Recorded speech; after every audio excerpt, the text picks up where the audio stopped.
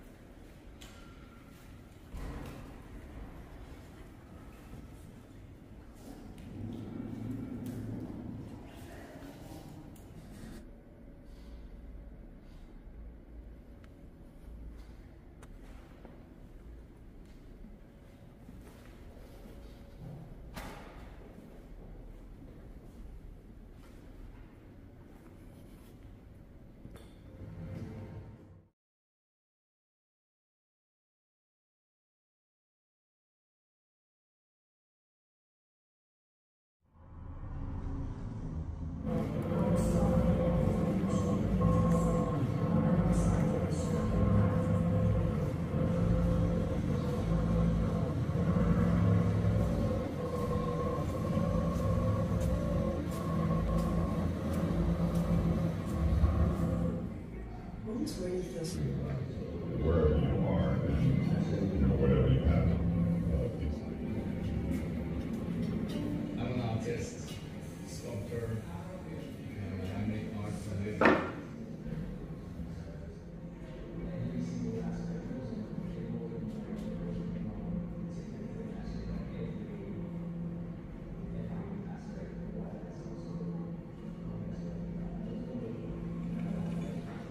See through the skin of a home, which turns out is the home that he grew up in, in Seoul, a traditional Korean home, that he had made with incredible details, and it was floating in the sky, and I was just blown over. You know, it turns out he made this replica of his home so he could pack it up in a suitcase and take it with him, which I felt just an enchanting idea. students going from one class to the other, and you have this beautiful landscape, and then there's a the institutional buildings, and, and that kind of artificial setting uh, was quite interesting to me when I first visited, and then I decided to maybe do something that addresses the people who lives and work in this artificial environment. So I came up with much safer project was a garden and a small house in the trailer. Uh, all the trees and the plants are from Korea, and the house is a traditional Korean house. But surprisingly, they didn't go for that. They went for, for this one. For me, the most exciting uh, moment of the process of art making is conceiving the ideas and then the rest of it how to make it happen.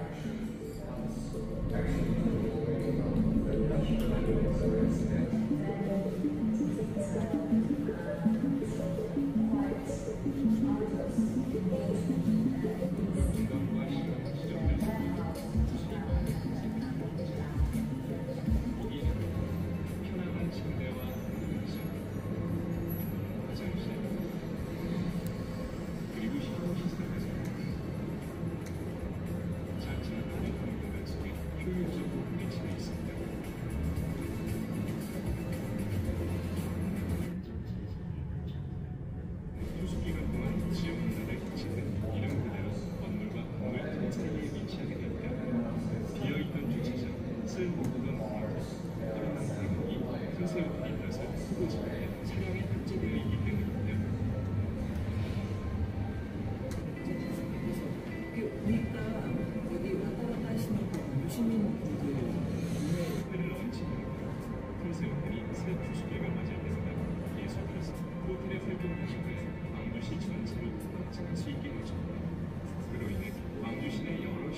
동생들이 일공간을 맺고 틈새 호텔로 인해 물리적, 심리적으로 새로운 공간으로 되고 틈새 호텔이 다른 지역으로 이동을 한다는 게 예전의 공간과는 전혀 새로운 지역의 공간이 보여질 것입니다.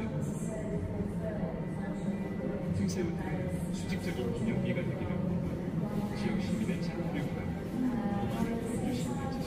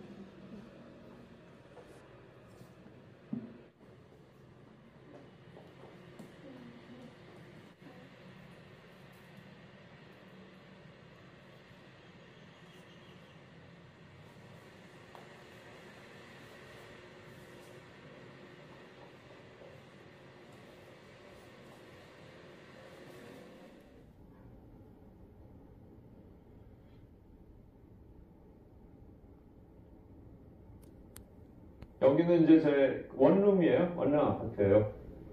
이게 반지하실인데 이쪽에서 조금만 가면은 부두예요. 그래서 사실은 이 건물이 선원들의 기숙사 같은 건물이었어요. 그래서 대문 앞에 문패 같은 게 있어요. 아직도 남아 있어요. 1997년 예일 대학원에서 이제 졸업을 하고 뉴욕으로 이제 이사를 와서 얻은 방인데 너무나 lucky하게 월세가 쌌어요. 근데 이제 미국은 집주인이 세 들 사람을 인터뷰해요. 그때 이제 집주인 부부를 이제 처음 만났죠. 두분다다 심리학을 전공하신 분이고 부인은 이제 환자들을 보는 이제 심리 상담사셨고 또 그분이 independent filmmaker였어요. 그래서 이제 제가 미술을 한다니까 금방 이해를 하시고 월세 낼 수 있느냐 그게 이제 어, 걱정에 의해서 나온 얘기였었어요. 예, 그래서 작가의 생활이 너무나 힘들다는 것을 잘 아시는 분들이었어요. 그 이후로 계속 여기서 살았죠. 여기서 살면서 저 개인적으로도 그렇고 제 커리어 측면에서도 그렇고 너무나 많은 일이 일어났어요. 2001년경에 어, 서울에서 한중일 큐레이터들이 모여서 그룹전을 만들었는데 전시 제목이 My home is yours, your home is mine. 내 집은 너의 집이고 너의 집은 내 집이다. 그런 전시에 제가 초대를 돼서 어, 만든 작품이 이 아파트예요. 제가 생각하는 어떤 뉴욕의 분위기, 도회적인 분위기, 그래서 약간 청회색 계통의 그 천을 이용을 했고, 또천 재질도 폴리에스터 천을 이용해서 작품을 했고, 또 작품이 설치된 방식도 천장에 매다는 게 아니라 에, 바닥에 서서 우리가 실제로 작품 안으로 들어올 수 있게끔. 그게 이제 일본으로 투어를 갔어요. 대신에 똑같은 작품을 그냥 일본에다만 전시한 게 아니라 작가들한테 새로운 작품을 만들게 했어요. 대부분의 작가들은 전혀 다른 작품을 했는데 저는 음, 뉴욕 아파트에다가 이 복도를 추가로 하기로 한 거죠. 그래서 대비되는 그 붉은색 계통으로 복도를 만들게 됐었던 거고 복도를 만들기 위해서 이 이제 실측을 해야 되잖아요. 여기 이제 요 계단 밑으로 내려가는 보일러실이에요. 그리고 창고가 있어서 집주인도 자주 왔다 갔다 하시고 그래서 제 생각에 아주 새벽에 이걸 재야 되겠다. 그래서는 이제 열심히 이제 재고 있었어요. 새벽 한 4시쯤 시작해가지고 한 106시까지 이제 하고 있는데 여기 집주인이 아터 해녹이라는 분이신데 내려온 거야. 왜냐면 연세가 많으시기 때문에 아침에 일찍 일어나시. 그래서 내려왔는데 내가 자를 들고 쭈그리게 앉아서 뭘 하고 있으니까 근데 그분이 뭐라 그러진 않고 한참 본 거예요. 아, 그러니까 저는 모르고 있다가 순간 인식기척 있어서 싹 돌아보니까 거기 서 계신 거야. 빙글씩 웃으면서 뭐 하냐고. 그래서 야 이거 참 미친놈으로 보겠구나. 어, 근데 이제 이런 전시가 있고 이런 의도로 작품을 한다고. 근데 그때까지는 이분이 이해는 못 하셨지만 어쨌든 그걸 계기로 그분이랑 작품에 대해서도 얘기할 수 있고 있었고 그래서 친해지게 됐어요. 그 그걸 계기로. 지금 여기가 지금은 문이 열려 있지만은 평소에는 이 문이 잠겨 있고 이 문을 통해서 위층에 집 주인 집으로 올라가는 계단이에요. 그 집주인한테 이 작품을 만들 테니 여기를 열어달라고 하기까지 6년이라는 시간이 걸렸어요. 왜 그러냐면은 지금까지 제가 만들었던 작품들은 저의 굉장히 intimate한 그 공간들을 작품으로 만들었잖아요. 근데 이거는 다른 사람의 intimate한 space를 제가 들어가서 작품을 만드는 거였기 때문에 어, 그렇게 쉽...